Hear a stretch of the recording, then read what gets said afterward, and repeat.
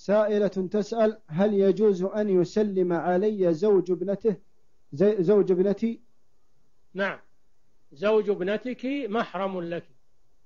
زوج ابنتك محرم لك. قال الله سبحانه وتعالى حرمت عليكم أمهاتكم إلى قوله وأمهات نسائكم. وأمهات نسائكم. فأم زوجتك أنت محرم لها لأنها حرمت عليك بالعقد بالعقد على ابنتها. نعم.